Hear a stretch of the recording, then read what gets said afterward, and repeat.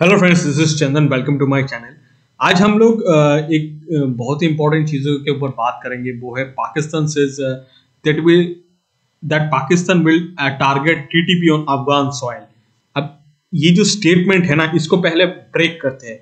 First आपको क्या दिख रहा है कि पाकिस्तान से it will target TTP on Afghan soil मतलब पाकिस्तान में जो टीटीपी अटैक हो रहा है ना वो पाकिस्तान साइड में जो टीटीपी है, वो अटैक कर रहा है मतलब तहरीक Taliban Pakistan.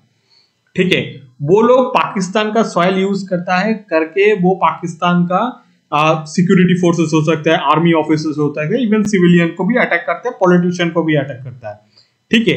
But they are मतलब वो विद इन पाकिस्तान से पाकिस्तान में अटैक करता है। लेकिन पाकिस्तान कितना बेवकूफ़ है, ये देख लीजिए। पाकिस्तान से it will target TTP on Afghan soil मतलब टीटीपी अफ़गानिस्तान में है। अफ़गानिस्तान में जो तहरीक तालिबान पाकिस्तान है नहीं है, वो तालिबानी है सिर्फ़। तालिबान का जो मेन दो ही ग्रुप है। एक है जो अफ़गानिस्तान में जो वहाँ पे अभी गद्दी में बैठा हुआ है, ठीक है? और ये पाकिस्तान जो बोलता है कि, जनाब हजूर, हम आ गए हैं। ये ऐसे भिखारी कर और वो जो सजदा करता है ना एकदम तालिबान के सामने ये पाकिस्तान, जितना भी पाकिस्तानी हो जितना आपको बोल लीजिए पॉलिटिशियन है ब्यूरोक्रेट्स उसका आर्मी ऑफिसर्स और सब जाता है जाके सजदा करता है अफ़गानिस्तान के सामने। ठीक है? और इस बेवकूफ़ ने बोल दिया कि टीटीपी को अफगान अफगान सॉइल में, अब टीटीपी अफगान सॉइल में है ही नहीं, इस बेवकूफ़ को कौन समझाएगा? ठीक है? और इसके ऊपर तालिबान हो गया गुस्सा। तालिबान ने बोल दिया कि it will not let anyone attack Islamic Emirate Islamic Emirate of Afghanistan ठीक है? तो आ, आपने आ, उनका जो एक मिनिस्टर है आई थिंक मुल्ला उमर उन्होंने आ, ये बोल दिया था कि देखिए अफ़गानिस्तान है ना वो सीरिया की तरह नहीं है जो इसराइल कभी भी उठ के अटैक कर लेता है। वो अलग चीज़ है लेकिन उन्होंने वो वैसा ड्रॉ किया था। और बहुत जगह जगह हमने देखा था कि आ, ये जो 1971 का जो सरेंडर था ना वो पिक्चर उन्होंने यूज़ किया था। इंडिया जब वो, पाकिस्तान को रिस्पॉन्ड करने के टाइम पे ये यहाँ पे ये पिक्चर अवेलेबल नहीं है। आ, ये इसने इन्होंने दिया नहीं है। अदरवाइज़ ये तो सबको पता होगा। जब पाकिस्तान ने जगजीत सिंह अरोड़ा के सामने सॉरी जगजीत सिंह अरोड़ा जी उनके सामने सरेंडर किया था ना 1971 में तो तब वो जो पिक्चर है ना वो पाकिस्तान को मॉक कर दिया था मतलब रिस्पॉन्ड करने के टाइम पे। तो इस वीडियो में हम लोग थोड़ा एक दो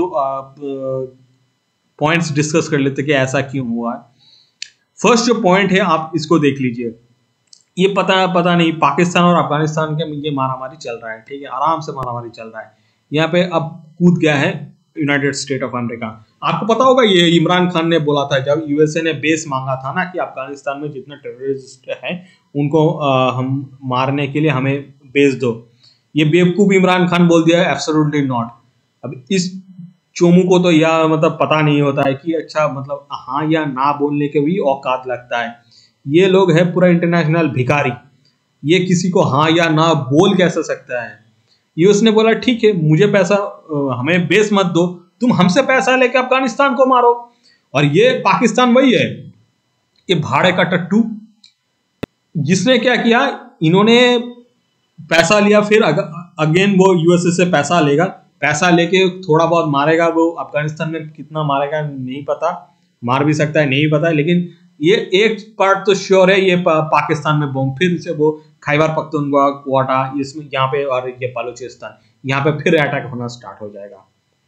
ठीक है ये कभी मत सोच लेना कि ये लोग जब यूएसए से पैसा लेता है यूएसए से पैसा लेता है। अफ़गानिस्तान में मान लीजिए उसका टेन परसेंट ऐसे नाइन्टी परसेंट तो इनका जनरलों के पास चला जाता है। ठीक है जनरलों का प्लॉट होगा लंदन में होगा दुबई में होगा कनाडा में होगा यूएसए में होगा, ये सब जगह जनरलों का प्लॉट होगा वो जो पिज्जा कुछ रेस्टोरेंट चेन ओपन हो जाएगा, ये सब होगा। इन लोगों का जो बच्चे बाहर पढ़ते हैं ना लंदन यूएसए में उनका फीसे बढ़ा जाएगा, ठीक है, उनके पास बड़ा बड़ा गड़िया गड़िया खरीदना स्टार्ट हो जाएगा, ये सब होगा। ये 90 परसेंट पैसा से ये होगा। अब जो 10 परसेंट पैसा बचा है, वो कहाँ जाएगा?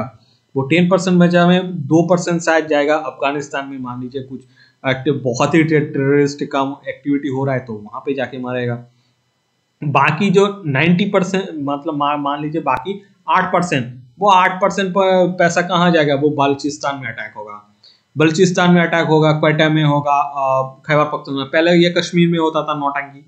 ठीक है, अब तो कश्मीर में ये बंद हो गया है। अब वो नौटंकी बंद हो गया तो उधर करेगा।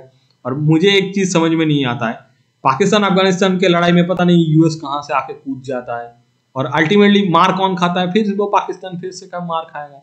आराम से। और पाकिस्तान बन गया है, मंदिर का घंटा। है तो पैसा नहीं, ना भी नहीं बोल। अब हजूर को कैसे ना बोलेगा। जो उनको खिलाता है ना यूएस इन लोगों को खिलाता है भिखारियों को।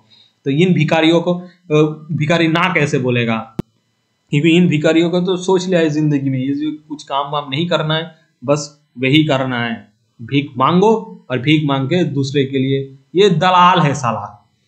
ठीक है अब ये अच्छा ये और एक चीज़ हुआ था जो, जो मैंने आपको बोला था ना ये जब एफ़ सिक्सटीन का पैकेज हुआ था ना तब इंडिया ने बहुत प्रोटेस्ट किया था कि अच्छा ये जो 450 मिलियन पर आप अफ़गानिस्तान को नहीं दे सकते। लेकिन उस टाइम पे मैं मुझे पता था कि ये कश्मीर के लिए नहीं था।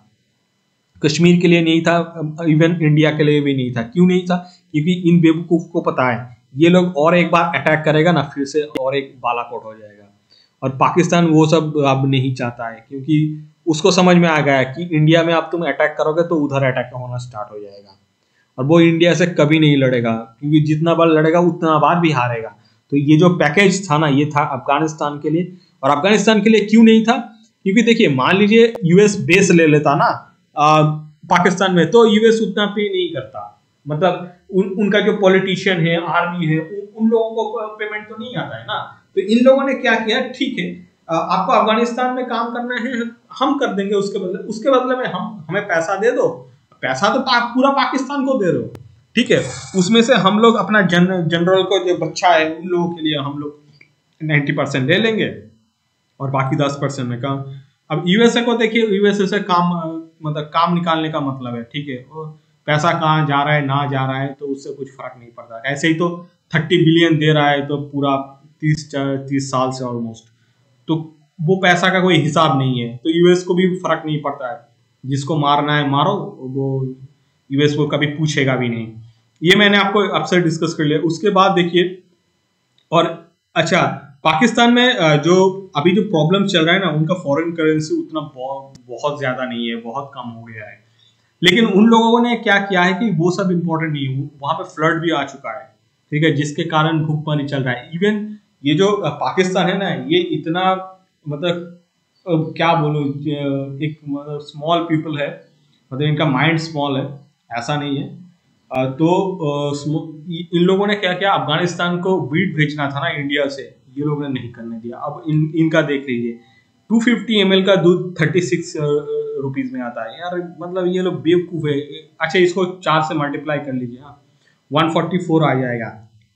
मतलब एक एक लीटर का दूध का दाम है एक सौ चौवालीस रुपए। अरे मतलब सोचता भी नहीं है। राइस, आप सोच लीजिए, बस ये हंड्रेड ग्राम का कॉस्ट नाइन्टी आ जाता है। तो आप मान लीजिए, इसको टेन टाइम से मल्टीपल कर दीजिए।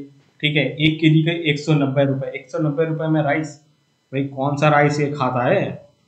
ऐसा राइस तो मुझे भी कभी नहीं मिला। ये अभी प्याज जा रहा है सात रुपया। सात रुपया मतलब इसको टेन टाइम्स अगेन मल्टीप्लाई सत्तर रुपया। सत्तर रुपया प्याज है। उसके बाद ये छोड़ दीजिए। सबसे अच्छा देखिए, ये टोमेटो पोटैटो पोटैटो यहाँ पे एक के को मिलता है पंद्रह रुपया। ठीक है? एक के और यहाँ पे देखिए, सिर्फ़ बीस ग्राम, इसको पाँच से माइनस सिक्सटी फाइव रुपीज़ मतलब पूरा कंट्री को काड़ा कर दिया, ठीक है? और लोगों को जो सबसे पाकिस्तान में प्रॉब्लम वही है सर जो मरता है ना, वो कॉमन पीपल मरता है। और इन पॉलिटिशियन ना आर्मी चीफ पॉलिटिशियन कोई इसको मतलब सोचता भी नहीं है इसके बारे में। उसके बाद देखिए, इन लोगों का फॉरेन रिज़र्व देखिए, सबसे कम। मतलब ये डिफ़ॉल्ट का, और ये जो 5.576 बिलियन है ना, इसमें शायद तीन बिलियन वो सऊदी अरबिया का है और दो बिलियन चाइना का है। और इसमें से ये जो पार्ट है ना इसको भी ये लोग यूज़ नहीं कर सकता। आ, तो मतलब ये सिर्फ़ दिखाने के लिए है। अच्छा चलो मतलब वो इंटरनेशनल कम्युनिटी के दिखाने के लिए कि हाँ ठीक है आप इतना पैसा रख लीजिए लेकिन आप यूज़ नहीं कर सकते।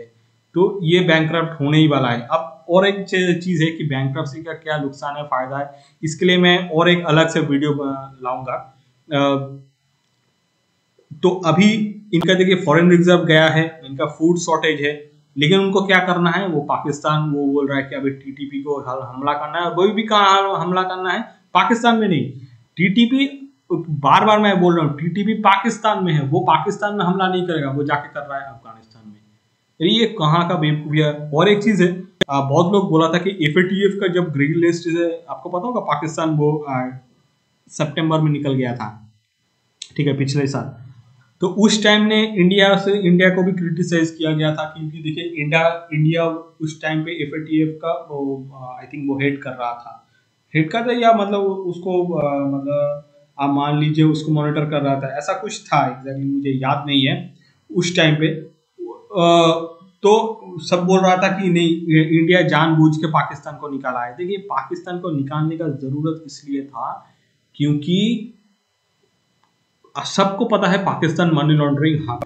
अब ये जो न्यूज़ था ना, इसको थोड़ा इधर से इसको एड अप कीजिए। पहले क्या बोला है? पाकिस्तान को एफएटीएफ से इसीलिए निकाला गया क्योंकि देखिए, पाकिस्तान उसके बाद ये मनी लॉन्ड्रिंग टेरर फाइनेंसिंग ये सब यूज़ करके अफ़गानिस्तान में जितना नेटवर्क से सब न्यूज़ निकालेगा। अब अफ़गानिस्तान में काम करने के लिए वहाँ पे भी ये पाकिस्तान जैसा बहुत लोग है, सिर्फ़ पैसा तो काम हो जाएगा। तो वहाँ पे लोगों को पैसा पहुंचाना है। तो उसके लिए कौन मतलब कैसे करेगा वो? एफएटीएम में ग्रेड लिस्ट में रहेगा तो नहीं कर पाएगा। इसीलिए उसी टाइम पे अफ़गानिस्तान लोगों को मारने के लिए ये यूएस यूनाइटेड स्टेट ने पा, पाकिस्तान को यहाँ से निकाल दिया। ये इंडिया ने उस टाइम पे नहीं लिखा। और अफ़गानिस्तान में एक प्रॉब्लम है उनके पास बहुत अच्छा रेडर जैमर ये सब नहीं है। ठीक है? इवन सेंसर भी उतना अच्छा सेंसर भी नहीं है जो आप उसको मतलब मान लीजिए कोई थ्रेट आ रहा है ना उसको आप कैच कर पाएँगे ऐसा कुछ नहीं था आ, कुछ नहीं उनके बाद। इवन इंटीग्रेटेड जो डिफेंस सिस्टम होता है ना जैसे यूएस में तो थर्ड है हमारे पास वो एस